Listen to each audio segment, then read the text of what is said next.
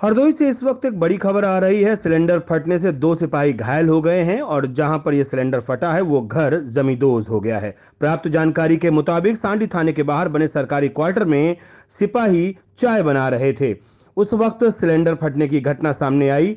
प्राथमिक जानकारी के मुताबिक सिलेंडर में लीकेज था, जिसके कारण ये सिलेंडर फटा है। सिलेंडर फटने की आवाज़ से लोग दहशत में आ गए और घर से बाहर निकल आए और उसके बाद का जो नज़ारा था, वो आपके सामने है। घर की सारी दीवारें जमी दोज हो गई और पूरा का पूरा क्वार्टर ध्वस्त हो गया है। जो घायल हुए हैं उनकी संख्या दो बताई जा रही है। दो सिपाही इसमें घायल हुए हैं, जिनको इलाज के लिए भेजा गया है। अधिक जानकारी की प्रतीक्षा में लगातार द पंचौरा न्यूज़ बना हुआ है।